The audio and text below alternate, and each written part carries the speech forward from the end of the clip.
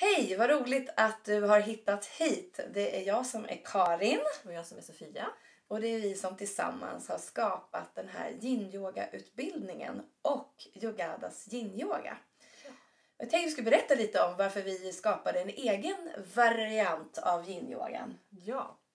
Vi ville hitta ett eh, mjukare sätt, ett ännu mjukare sätt att ta oss an yin-yogan och kanske framförallt satsa på hur vi kommer in och ur positionerna.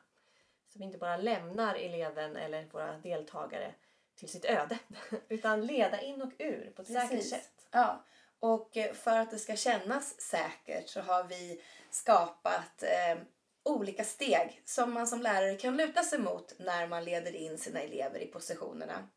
Vi har också eh, en inställning att man inte ska vara riktigt lika länge i positionerna och att det är toppen att addera ännu mera mellanrörelser och kanske rent av lite mer rörelse emellan. Eh, Jag har märkt att en del upplever att våran yin-yoga är mer restorative. Men jag, är inte riktigt, jag håller inte riktigt med. Eh, Men kanske är det för att vi använder just ganska mycket stöd. Ehm, Och det, det tar ju lite tid att hitta liksom rätt, eh, rätt stöd. För det är ju unikt för varje person som, som yogar. Precis, kan också vara unikt för varje tillfälle också. Absolut, det kan variera.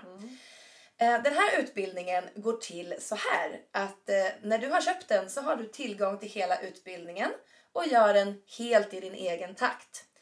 När du har jobbat dig igenom hela utbildningen så eh, kommer det ett slutmoment där det är ett litet prov och några har kontaktat mig och varit så här, "Åh, hur mycket är det? Men du kan lita på att har du gjort utbildningen då är det mer eller mindre bara en check för en egen skull att du har jobbat igenom alla stegen helt enkelt. Precis.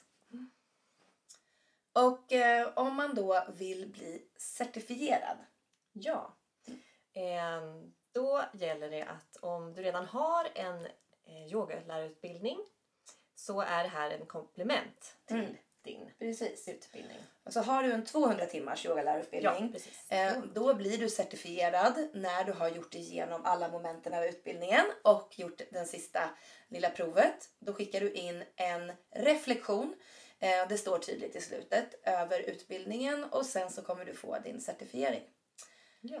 Mm, Är det så att du inte har någon ut, eh, redan har en utbildning så går det fortfarande jättebra att eh, gå vår online yin-yoga-utbildning. Eh, men då behövs en certifieringsdag eh, som kommer till.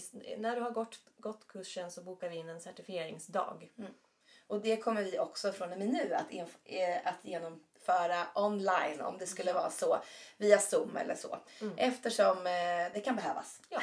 Ibland. Det kan vara svårt att resa eller Mm. det kan vara svårt att eh, träffas i grupp just nu. Ja.